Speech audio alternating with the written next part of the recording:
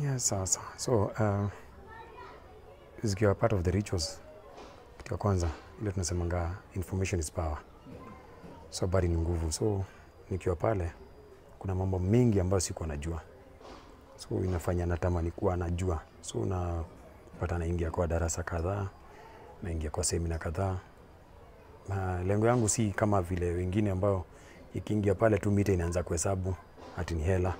So mi niko na natafuta ile habari.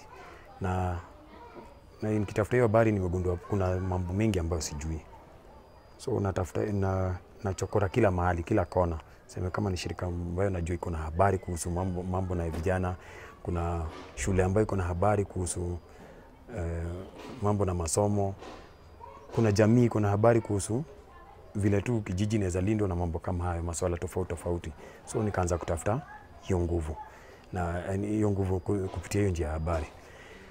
Kitu ya pili niligundua pia ile hela na, so uh, first ni hapa we have this resource center ambayo iko na iko na iko na vitu iko na habari mob ambayo kijiji inaweza tumia, iko na habari mob ambayo vijana wanaweza tumia, iko na habari mob ambayo watoto wanaweza tumia. So nikikuwa kwa hii resource center, kuna zile vitabu tunatumia, labda wakitaka kujua kuhusu vijana vile wanafanya saving na vitu kama hayo. So hiyo hiyo resource center imekuwa ni moja. Ya pili kwa saa hii ni vile nataka kurejea pia shule na napata kutafuta tu pia nguvu kupitia masomo ambayo nikichukua na kuja nieneza hapa kwa hii library ambayo tuko na watoto. So hiyo ni nguvu ya pili. Uh, ya tatu kwa community ambapo nimehusika katika zile mikutano.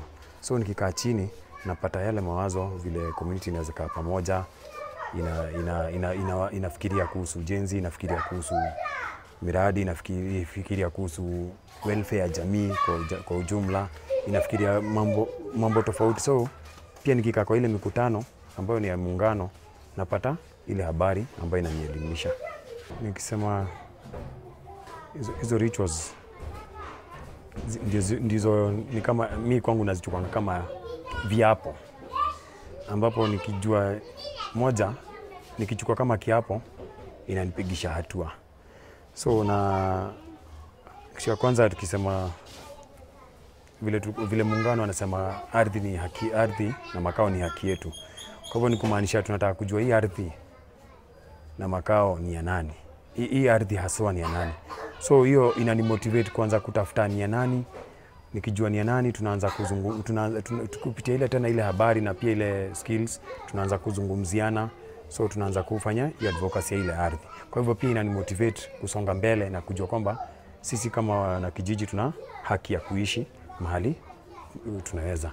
Kitu ya pili eh, inanimotivate kwamba kama hii ardhi siwezi pata naweza pata ardhi ingine, lakini ardhi ingine nikipata inahusika, inahusisha nini? Inahusisha hela. So ikihusisha hela, lazima nifanye nini? Nianze kuweka nini? Ile akiba.